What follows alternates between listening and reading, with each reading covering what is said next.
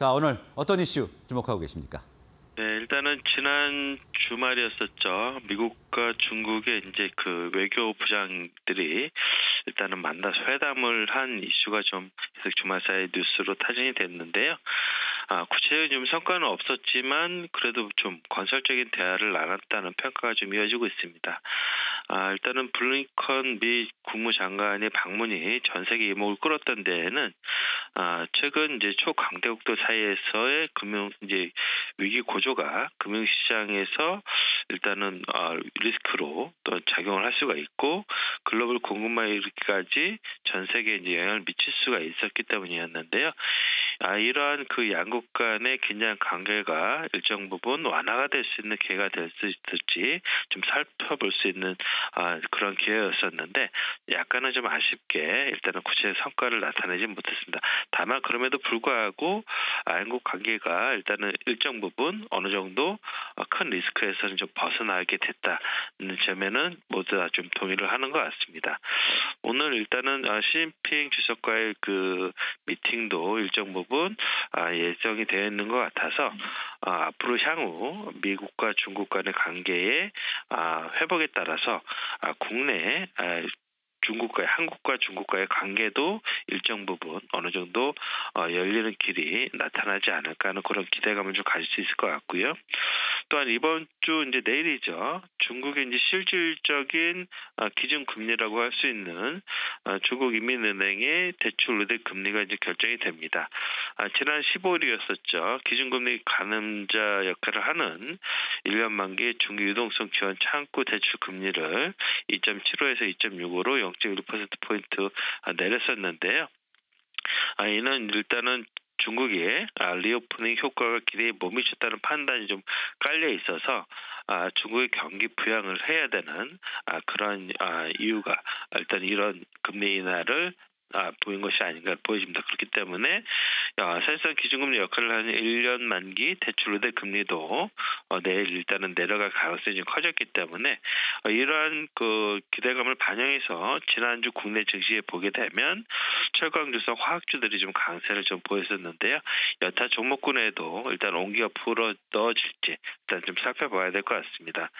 아, 최근에 주가는 국내 증시는 아, 해외 증시에 비해서 약간 좀 상승을 주춤하고 있는데요. 반도체 같은 경우는 아, 기대감 등이 상당히 좀 많이 반영이 되어서 주가가 올랐지만 실질적으로 매출이라든가 실적이 개선되는 모습을 아직까지 나타나지 않고 있습니다. 그렇기 때문에 기대감이 일정 부분 좀 반영이 되어서 주가가 좀 주춤하고 있기 때문에 아, 무엇보다도 실적에 대한 포커스가 상당히 좀 중요한 때가 된 것 같습니다. 그렇기 때문에 아, 이번 주 증시에서 좀 주목해야 될 것들은 아, 실적을 보여주는 그런 기업들에 좀 주목을 해보자 이렇게 좀 볼 수 있을 것 같습니다. 네, 이번 주 어, 실적에 주목할 필요가 있다 이렇게 말씀을 주셨고요. 관련해서 종목도 좀 알아볼까요?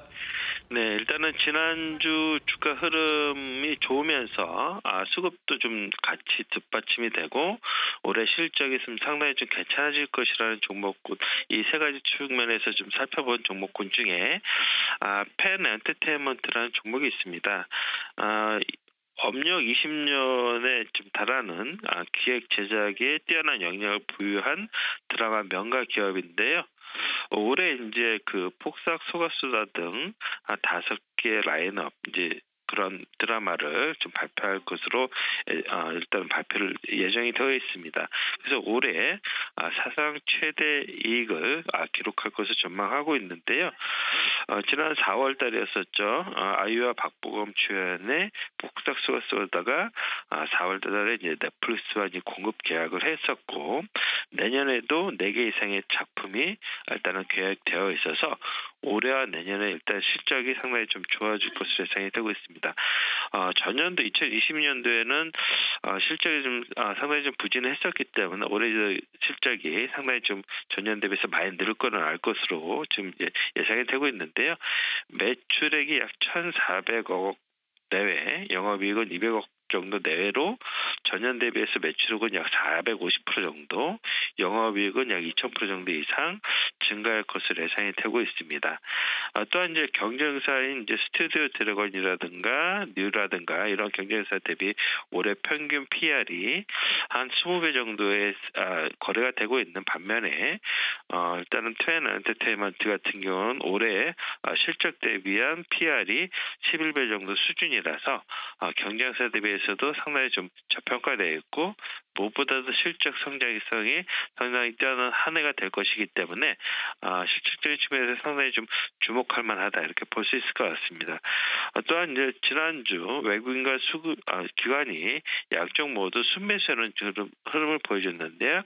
외국인 기관이 약 15만 주 정도 순매수를 해주면서 주가가 6천 원 부근에 상단에 있음에도 불구하고 아, 박스권 상단을 좀 돌파하려는 그런 시도가 나타날 수 있는 한 주가 되지 않을까 이렇게 보입니다. 그렇기 때문에 실적 포커스에 맞췄을 때 패널 엔터테인먼트에 대해서 관심을 가져보자 이렇게 말씀드릴 수 있습니다.